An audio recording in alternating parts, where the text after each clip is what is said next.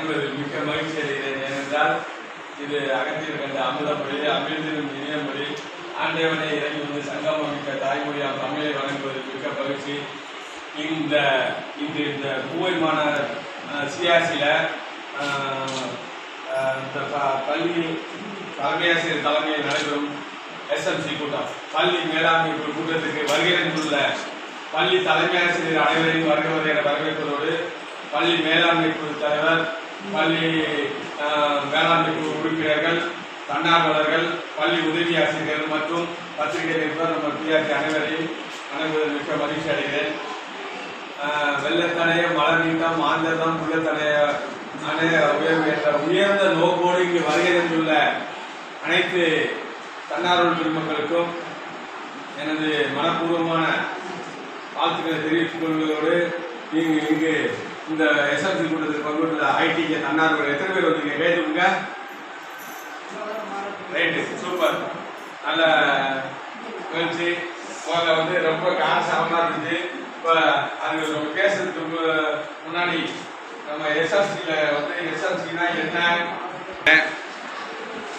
ஏன்னா சலசலப்பு மாறணுமா இல்லையா? சார் பாருங்க. சார்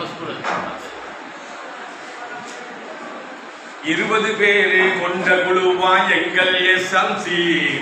இருபது பேரு கொண்ட குழுவா எங்கள் எஸ்எம்சி.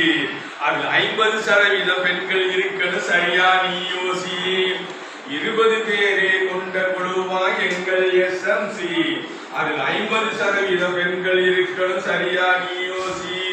குழந்தையின் பெற்றோர் தலைவராகணும் முறையா நீ பேசி குழந்தையின் பெற்றோர் தலைவராகணும் முறையா நீ பேசி ஒரு குழந்தையும் தந்தையும் தாயும் தலைவரா நீ ஏசி ஒரு சிறப்பு குழந்தையும் தந்தையும் தாயும் தலைவரா நீ சேசி இருபது பேரை கொண்ட குழுவா எங்கள் சி அது ஐம்பது சதவீத பெண்கள் இருக்கணும் சரியா நீ யோசி வயது நிரம்பிய குழந்தையை சேர்ப்பது குழுவின் பயன் பணியாகும்.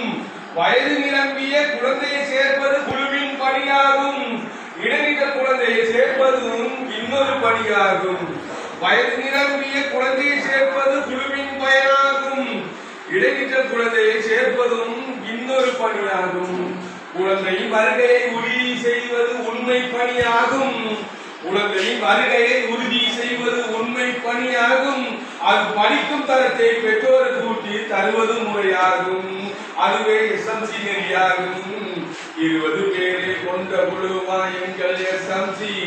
அதில் ஐம்பது சதவீத பெண்கள் இருக்கணும் சரியா நீ யோசி மரத்தடி நிலையில் படித்திட்ட கல்வி மாறியா உயர்ந்திருக்கு. மரத்தடி நிலையில் படித்திட்ட கல்வி கல்வி உரிமை சட்டம் கலங்கர விளக்காய் வழிதர துணையாய் இருக்கு. பள்ளி வளர்ச்சி பாதை மேன்மையடைய பாதை அமைத்திருக்கு. புது பாதை அமைத்திருக்கு. பள்ளிகள் உயர குறைபட இருக்கு. பட்டியல் போட்டு நில்லு.